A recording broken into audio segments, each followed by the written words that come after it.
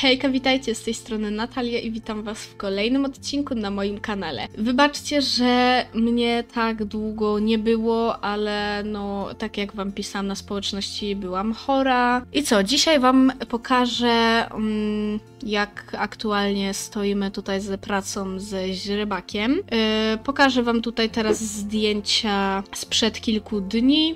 E, I ćwiczyliśmy sobie zakładanie kantara i ogólnie takiego e, trochę takiego podawania nóżek, takiego wiecie, takich typowych rzeczy. Dotykałam go wszędzie, aby się przyzwyczaił do mojego dotyku. No i dzisiaj powtórzymy sobie to, co robiliśmy wtedy. I przy okazji też poćwiczymy to sobie mm, najpierw e, w boksie, a później wyjdziemy sobie na dwór, ponieważ źrebaczek powoli e, zaczyna wychodzić e, na dwór. No i co? Zapraszam Was do oglądania. Także tak jak mówiłam, dzisiaj robię to samo, a mianowicie e, po prostu dotykanie tego źrebaczka, zakładanie kantarka, ale to zaraz, może trochę to podnoszenie nóżek. Także macie tutaj kilka ujęć.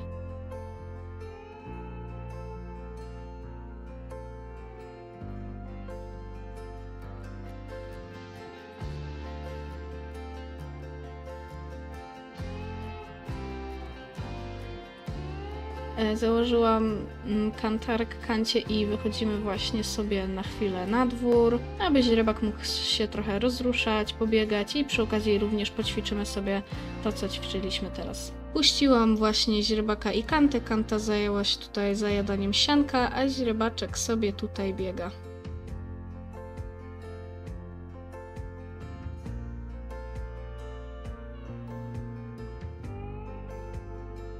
Przywiązałam kantę tutaj do płotu, aby nigdzie mi tutaj nie uciekła i żeby, wiecie, źrebak też nie uciekł za nią. I co, na chwilkę zdejmiemy sobie kantarek, trochę sobie tutaj, wiecie, pomachamy rączkami, on tutaj się musi przyzwyczaić do wszelkiego tutaj, e, do wszelkich moich ruchów, ale ogólnie jest już e, bardzo fajnie. Często też ruszam po prostu tym kantarem, coś tutaj e, właśnie mu e, głaskam, go klepię, coś tutaj, wiecie, cały czas coś tutaj robię, jakieś też gwałtowniejsze ruchy i tak dalej.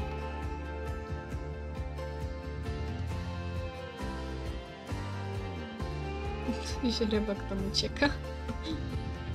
Także tak mniej więcej wygląda na razie nasza praca. Podnoszenie nóżek, przyzwyczajenie do dotyku, oczywiście kantar. Gdzie niegdzie też powoli wprowadzamy prowadzenie na kantarze. Myślę, że to byłby koniec dzisiejszego odcinka. Mam nadzieję, że Wam się spodobało. Widzimy się w kolejnych odcineczkach. Do zobaczenia i pa pa!